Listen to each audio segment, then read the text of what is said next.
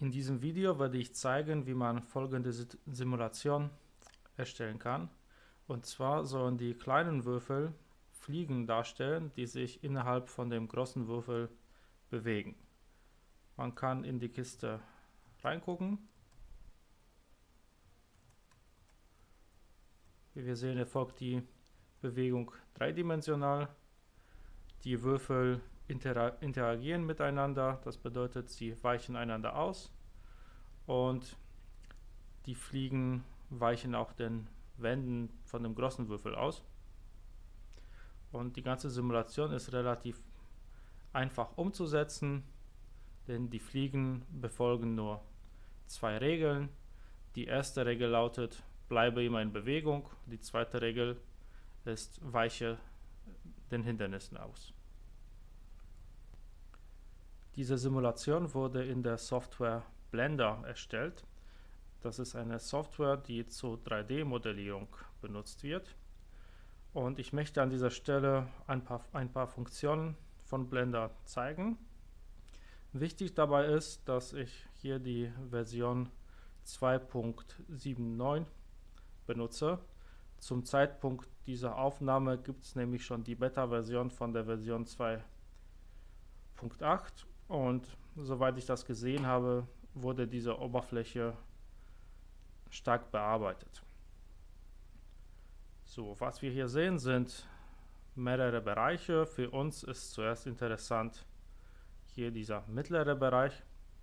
Das ist die 3D-Einsicht.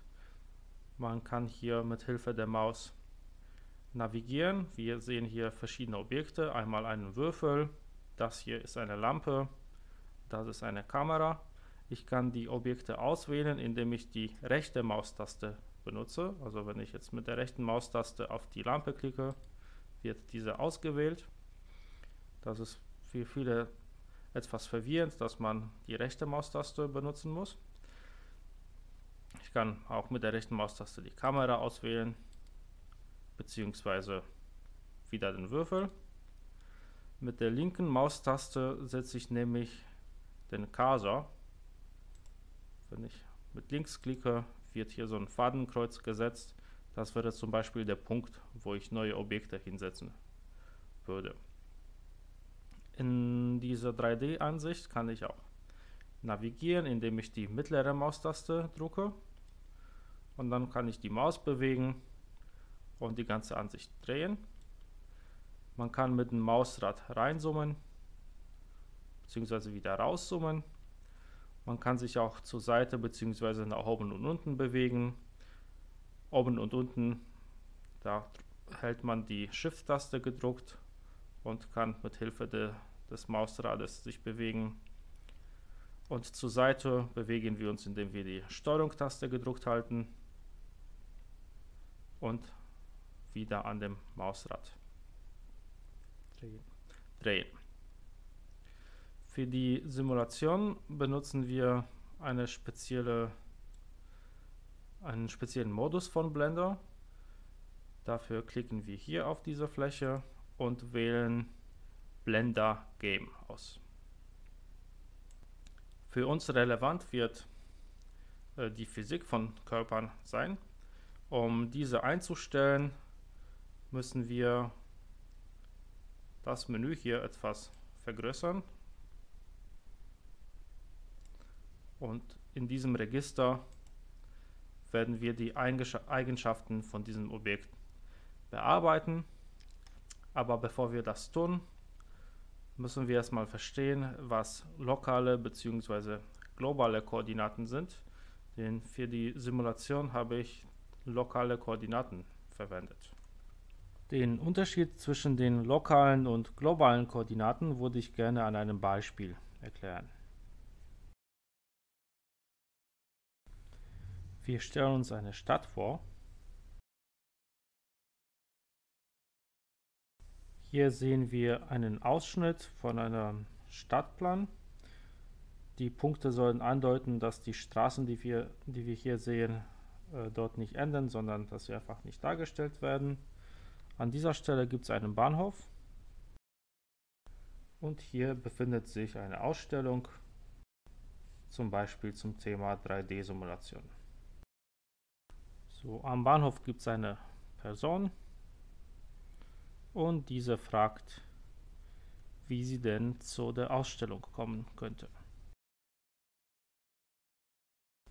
Und dann gibt es rein theoretisch zwei Möglichkeiten. Einmal eine Person, die folgende Erklärung gibt. Gehe 300 Meter geradeaus, dann biege nach rechts ab, dann gehe bitte wieder 500 Meter geradeaus, biege dann links ab, gehe wieder 500 Meter geradeaus, biege nach rechts ab. Und gehe 170 Meter geradeaus. Dann hätten wir folgenden Weg. So, die Ausstellung wurde gefunden.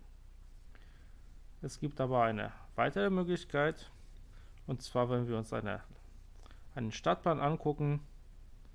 Meistens werden die Stadtpläne nach den Himmelsrichtungen gedruckt oder dargestellt. Dort gibt es den Norden, dort Süden, Osten und Westen. Und man könnte eine Person treffen, die eine folgende äh, Wegerklärung gibt. Gehe 300 Meter Richtung Osten. Gehe dann 500 Meter Richtung Süden gehe dann 500 Meter Richtung Osten und dann 170 Meter Richtung Süden. Die erste Erklärung ist sozusagen auf die Person zugeschnitten. Die sind ja auf die Person selbst bezogen.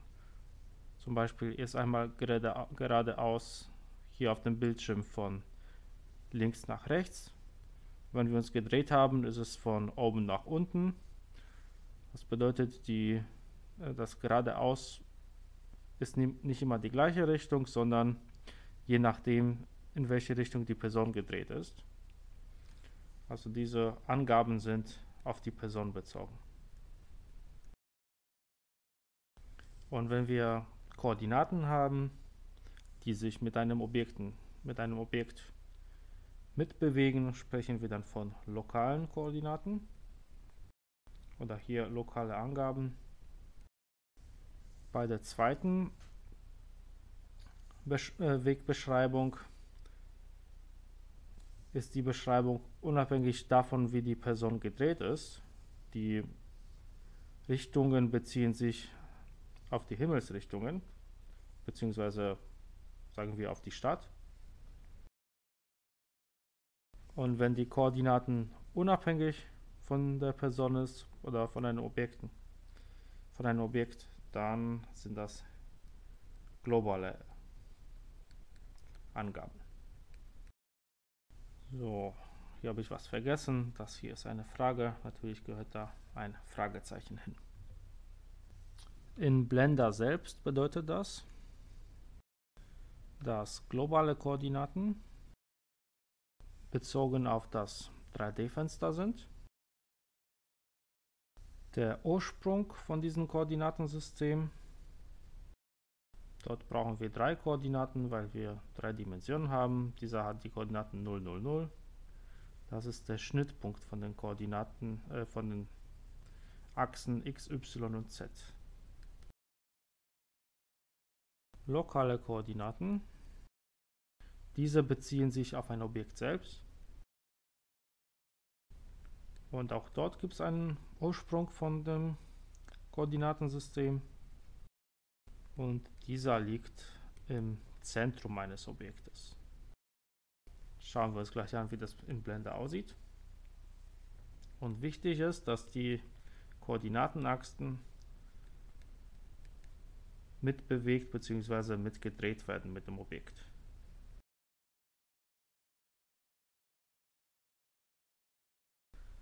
In Blender sieht die Sache mit den globalen und lokalen Koordinaten folgend aus.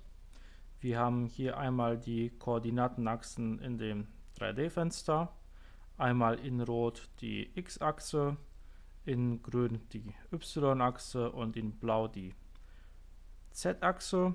Man kann sich das so merken, alphabetisch gesehen sind die Achsen mit x, y, z bezeichnet und die Farbkodierung ist rot, grün, blau, also RGB. Das ist ja die Standardreihenfolge in ganz vielen Informatik- oder Computeranwendungen.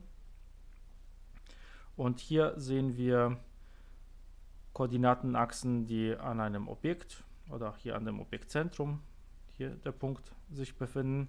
Wenn man die Koordinaten mit links anklickt, kann man Objekt, äh, das Objekt verschieben.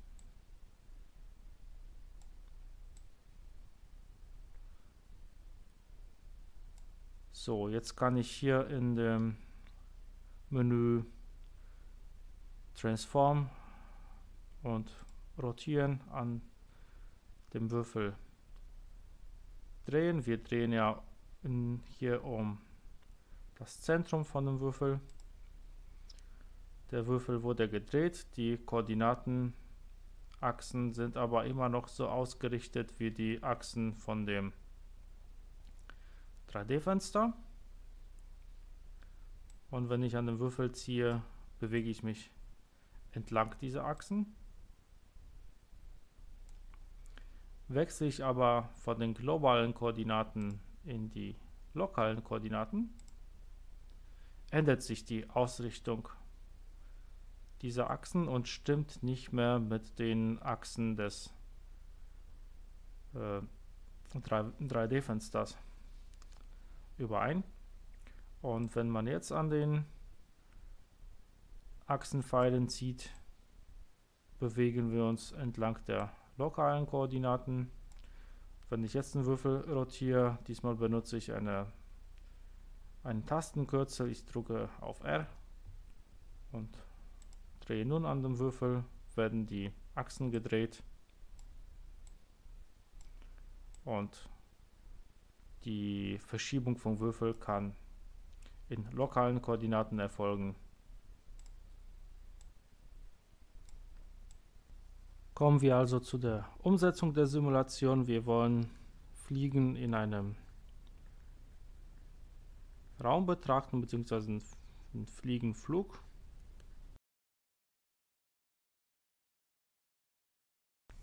So, das soll eine Fliege sein. Und wir schauen uns ein vereinfachtes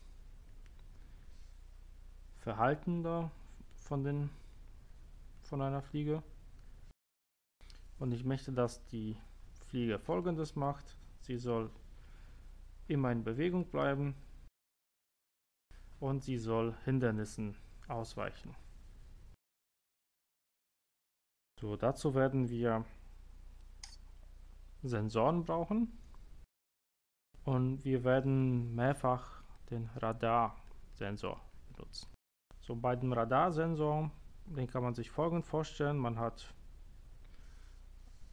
äh, das Zentrum des Objektes und aus diesem, von diesem Punkt aus wird ein Signal, so trichterförmig, ausgesandt.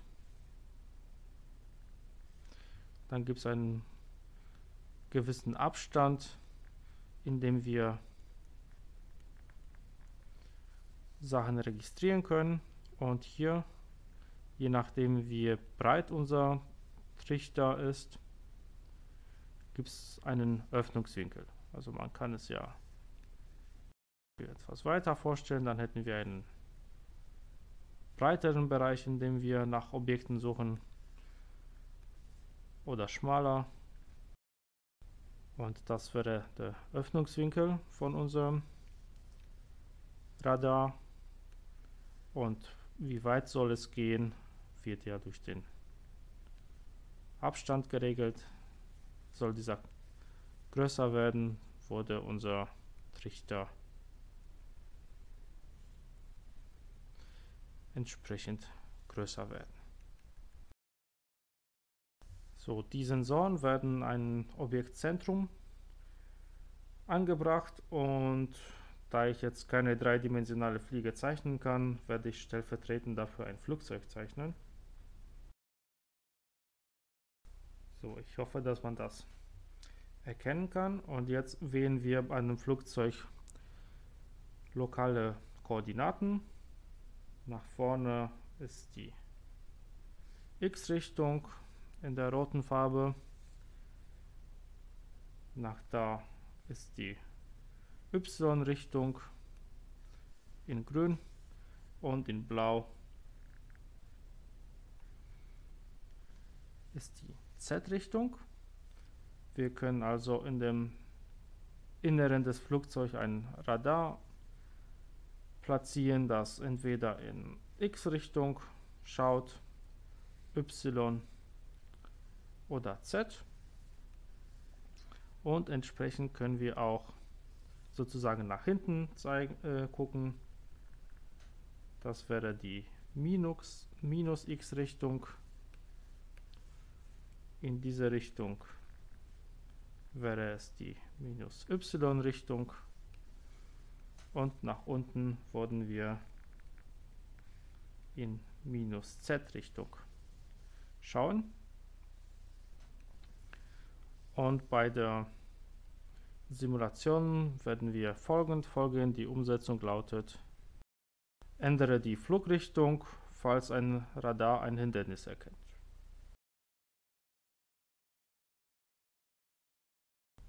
Und da wir das Verhalten der Fliege simulieren wollen, wird es, für, wird es für uns einfacher sein, die lokalen Koordinaten zu wählen. Um die Fliegen zu steuern, werden wir zuerst logisch, logische Schaltungen benutzen. Und diese sind in Blender Game zu finden. Und dort muss man einen Auslöser haben, ein Sensor. Dieser schickt ein Signal an den sogenannten Controller. Und der Controller schickt das an einem, an einem Actuator und dort erfolgt die Umsetzung von dem Steuersignal. Und das ist an sich ein altbekanntes Prinzip. Wir haben eine Eingabe. Diese Eingabe wird verarbeitet und nach der Verarbeitung erfolgt eine Ausgabe. Okay, dann wollen wir mal die Simulation umsetzen. Dazu wechsle ich zuerst wieder in die lokalen Koordinaten. Und die Idee ist, dass wir den Würfel als Fliege nach vorne bewegen. Und wenn wir ein Objekt vor uns mit einem Radarsensor erkennen, dann ausweichen. Und ausweichen bedeutet, wir drehen uns um eine der drei Achsen und damit ändern wir die Richtung, in die wir uns bewegen. Dazu müssen wir uns einmal angucken, wie das Drehen mit der Richtung zusammen, äh, wie die beiden miteinander abhängen, äh, voneinander abhängen. Dann drehe ich einmal das, die ganze 3D-Szene so, damit die rote Achse die X-Achse von mir aus nach vorne zeigt. Und dann ist mir der, Wür der Würfel etwas zu groß. Dann wechsle ich die, äh, das Register hier zum, zu diesem Register. Dort kann ich nämlich äh, erstens mein Objekt drehen. Hier gibt es ja Rotation und auch skalieren. Ich möchte den Würfel in allen Richtungen skalieren mit dem Faktor 0,1. So, jetzt wurde er in die x-Richtung skaliert. Das Ganze mache mach ich in allen weiteren Richtungen. So ist der Würfel etwas kleiner geworden.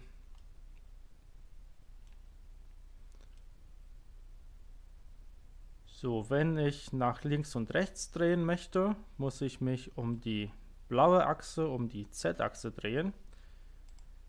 Wenn ich jetzt einen positiven Winkel nehme, zum Beispiel 20 Grad, dreht sich unser Würfel nach links. Bei einem negativen Winkel, zum Beispiel minus 20 Grad, dreht sich der Würfel nach rechts.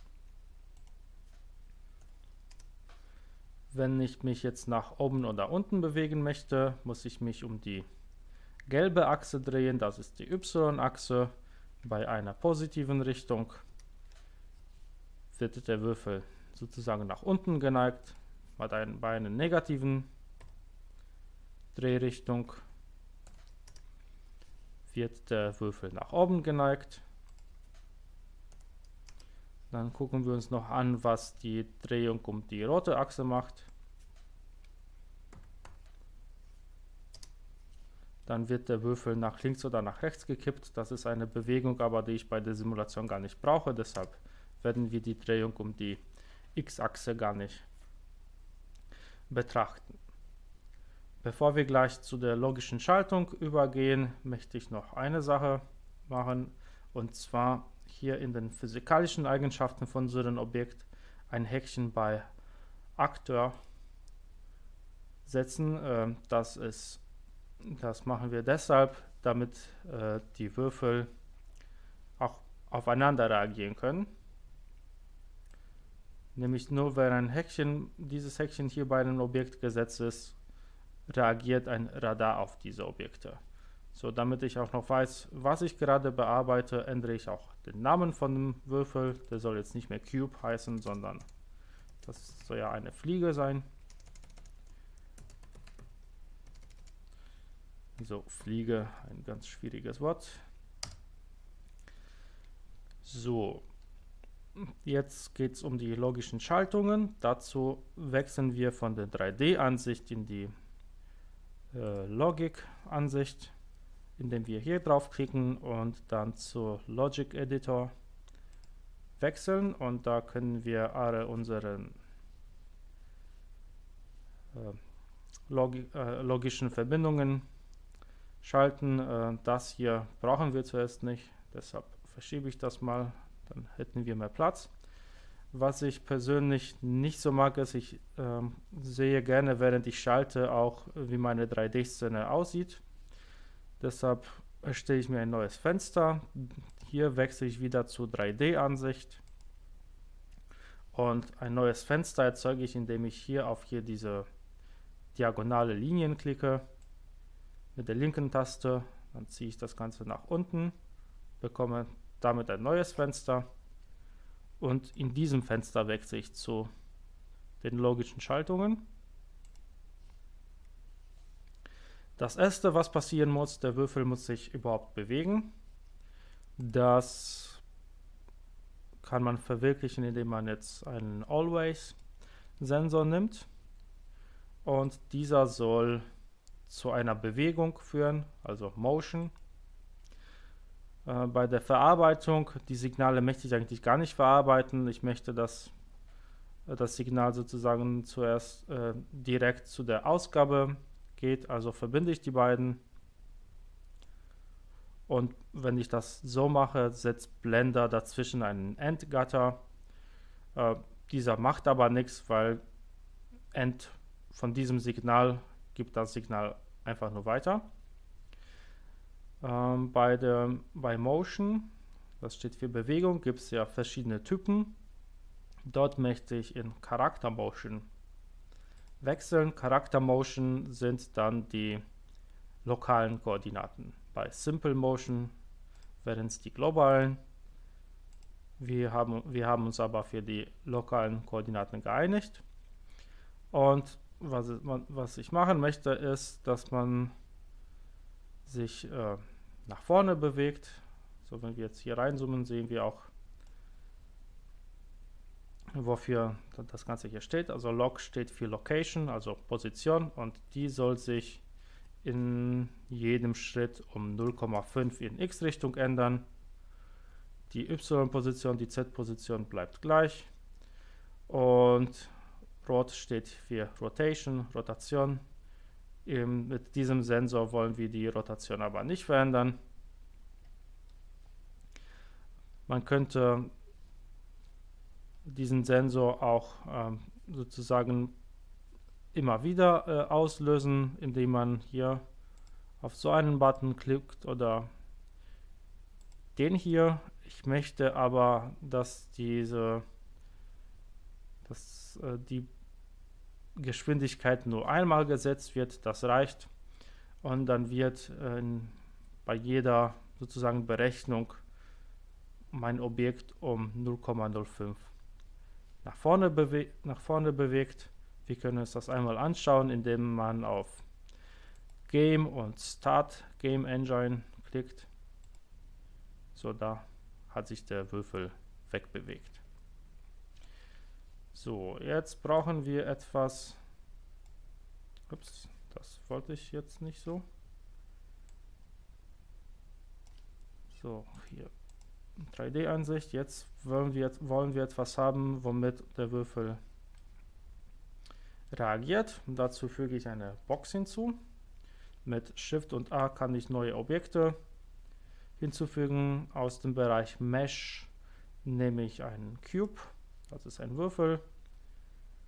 Zoome so ein bisschen raus. Äh, ich möchte den etwas größer haben. Skaliere den mit einem Faktor 5 in allen Richtungen.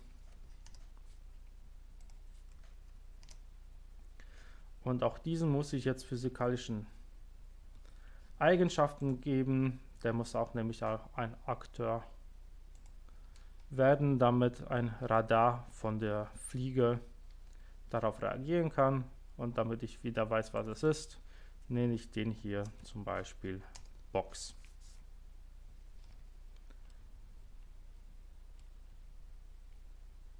So, jetzt starten wir die Simulation, indem wir das Spiel starten und sehen, der Würfel, der kleine Würfel kann den großen Würfel verlassen. Das ist natürlich nicht das, was wir wollen. Und zweite Sache, die uns nicht gefällt, ist, wir können ja gar nicht in das Innere von dem Würfel schauen. Dazu klicken wir hier auf Invisible. Und wenn wir jetzt das Spiel starten, wird der große Würfel nicht dargestellt. Das letzte, was noch stört, ist, dass wir bei der Bearbeitung ähm, nicht in das Innere von dem Würfel sehen können. Und jetzt schalte ich noch den Würfel in dem Bearbeitungsmodus auf unsichtbar, indem ich hier auf das Auge klicke. Der Würfel, also die Box ist zwar immer noch da, aber wird weder in dem Spiel noch bei der Bearbeitung dargestellt. Nun wählen wir die Box aus, die, das heißt die Fliege, äh, nicht die Box, nur die Fliege, Entschuldigung. So, jetzt äh, fügen wir einen Sensor hinzu, und zwar einen Radarsensor. Den benenne ich als Radar X+.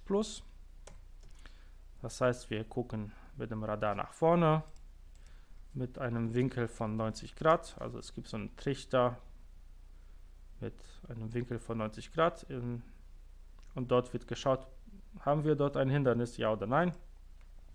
Ich habe das ausprobiert, 1,25 ist für die Entfernung ein guter Wert. So, mit den Dreiecken hier kann man die Sachen etwas zuklappen. Damit wird es ein bisschen übersichtlicher. So, was soll passieren, wenn wir ein Hindernis äh, merken, wir wollen uns bewegen, Charakter Motion.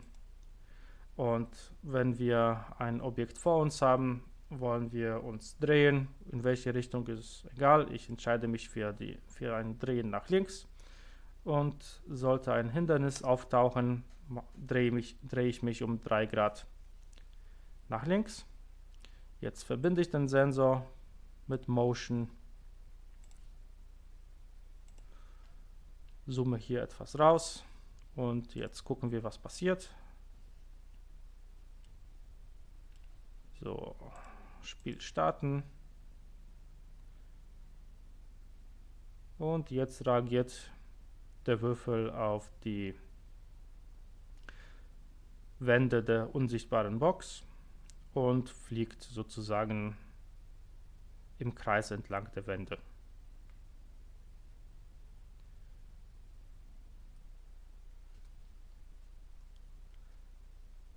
Damit wären wir im Prinzip schon fast fertig. Nun sollen weitere Fliegen hinzukommen und die Fliegen sollen auch aufeinander reagieren. Momentan ist es so, dass sie nur ausweichen, wenn sie aufeinander zufliegen würden, weil sie ja nur nach vorne gucken. Wir wollen aber noch, dass die Fliegen was tun, wenn sie nebeneinander sich befinden bzw. untereinander. Und dazu füge ich jetzt Sensoren hinzu, die nach oben, unten, links und rechts schauen. Nach links, nach links schauen wäre in die positive y-Richtung schauen, nach rechts schauen wäre in die negative y-Richtung. Nach oben schauen ist die positive z-Richtung, nach unten schauen ist die negative z-Richtung. Dann füge ich entsprechende Radarsensoren hinzu. So, wir schauen jetzt einmal nach links. Das nenne ich dann Radar Y+. Gucke in die plus Y Richtung unter dem Winkel von 90 Grad. Äh, wenn die Fliegen aufeinander reagieren, sind wir da so etwas großzügiger und gucken nur bei einer Distanz von 0,5. So, ich merke schon, hier könnten wir gleich durcheinander kommen. Ich nenne hier diese Reaktion links äh, links vorne.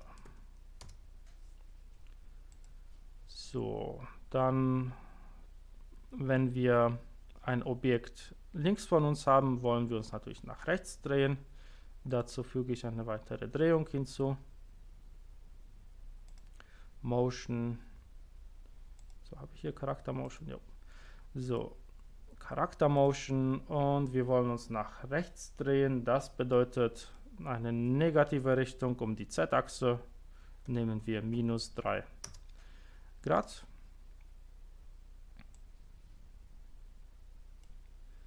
Verbinden die. So, das ist jetzt eine Drehung nach rechts.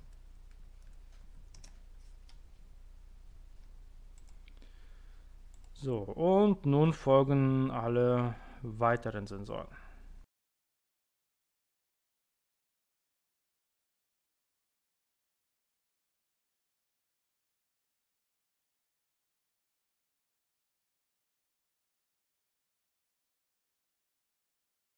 Okay, dann einmal checken, ob alles richtig ist. Radar X Plus, Öffnungswinkel und Entfernung stimmt. Dann wollen wir uns nach links drehen, das passt, das sind die lokalen Koordinaten, das ist in Ordnung. Jetzt gucken wir nach links und wenn links ein Hindernis ist, drehen wir uns nach rechts in lokalen Koordinaten, das passt auch. Dann, wenn, ein, äh, wenn wir ein Hindernis rechts von uns haben, wollen wir uns nach links drehen. Das passt auch, lokalen Koordinaten stimmen. Wenn über uns ein Hindernis ist, Öffnungswinkel passt, wollen wir uns nach unten bewegen. Das passt. Und schließlich, wenn unter uns ein Objekt ist, Öffnungswinkel und die Entfernung passt. Da wollen wir uns nach oben bewegen. Das passt also auch. So, damit wären wir mit der logischen Schaltung fertig. Ich brauche sie jetzt nicht mehr, deshalb drücke ich hier wieder, klicke ich wieder auf hier diese Diagonalstriche und ziehe sie über das obere Fenster. Das Fenster verschwindet damit. Und bevor ich die Simulation ganz starte, möchte ich ein paar Tests durchführen. Eine Fliege ist ein bisschen langweilig, diese möchte ich jetzt ähm, duplizieren. Man könnte äh, einen Tastenkürzel nehmen, den kann ich mir aber nicht merken. Es ist Shift, Alt oder Steuerung und D, also da gefühlt gibt es jetzt für jede Tastenkombination eine Aktion in Blender. Ich mache das immer so, ich drücke auf die Leertaste, tippe DUP für Duplicate und klicke einfach hier drauf für Objekte duplizieren, Duplicate Objects. Und wir sehen hier, hier wurde eine neue Fliege, Fliege.001 erstellt. Die hat momentan die gleichen Koordinaten wie die erste Fliege. Wenn ich aber an der Achse ziehe, sehe ich die zweite Fliege. Und jetzt wollen wir schauen, ob sich diese Fliegen ausweichen. Ich bewege, bewege sie ein bisschen weiter auseinander und diese Fliege drehe ich mal um die Z-Achse um 180 Grad. Jetzt werden die Fliegen aufeinander fliegen und wir schauen, ob sie einander ausweichen. Ich drehe die Ansicht so ein bisschen weiter nach oben, dann sehen wir gegebenenfalls das Ausweichmanöver. So, das sieht gut aus.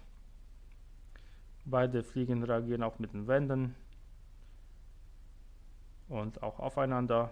Das passt. So, jetzt wollen wir gucken, ob wir die Sensoren richtig eingestellt haben. Wenn die Fliegen nebeneinander sind, dann lassen wir die Fliegen sich nebeneinander bewegen. Wenn sie nebeneinander sind, musste die linke Fliege nach links fliegen und die rechte Fliege nach rechts. Mal schauen, ob das der Fall ist. Ja. Und der letzte Test, wir setzen die Fliegen übereinander.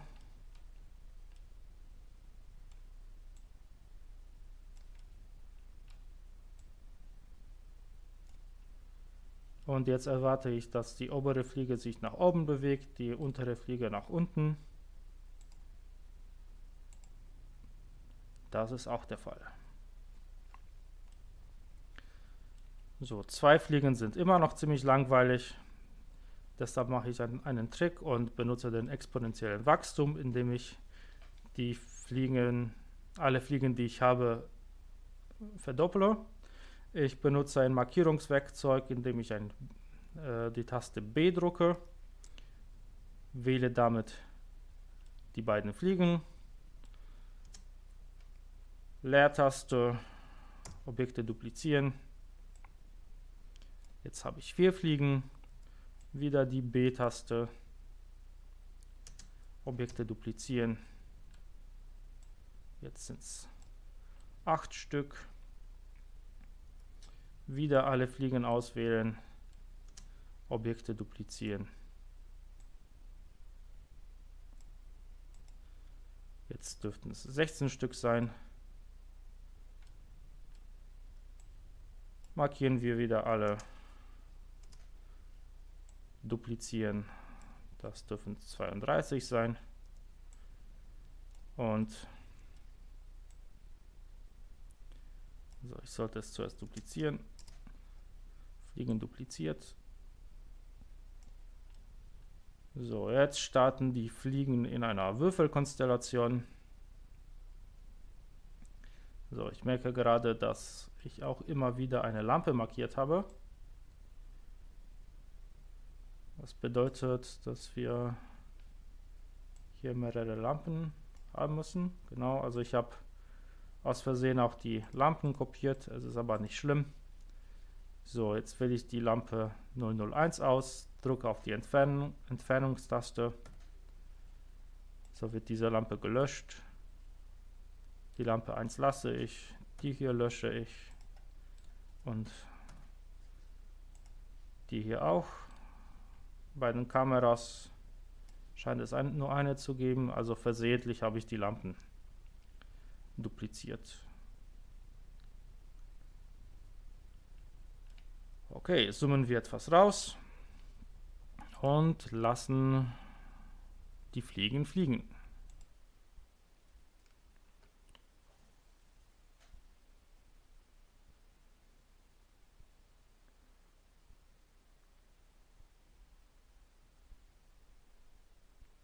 So, das sieht gerade nicht so flüssig aus, liegt wahrscheinlich auch so ein bisschen daran, dass ich, eine, dass ich gerade eine Bildschirmaufnahme durchführe. Und diese hat Priorität, deshalb bekommt Blender gar nicht so viel Arbeitsspeicher.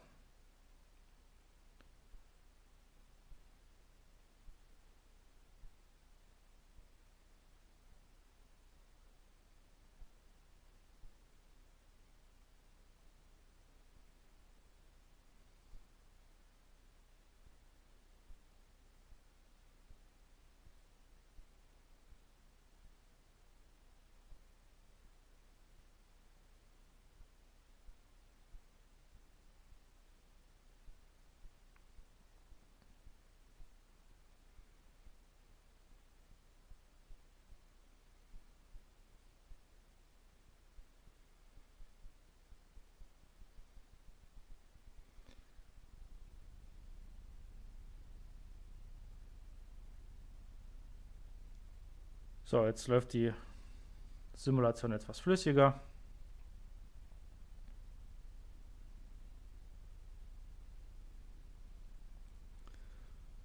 Und die Fliegen bewegen sich innerhalb der Box.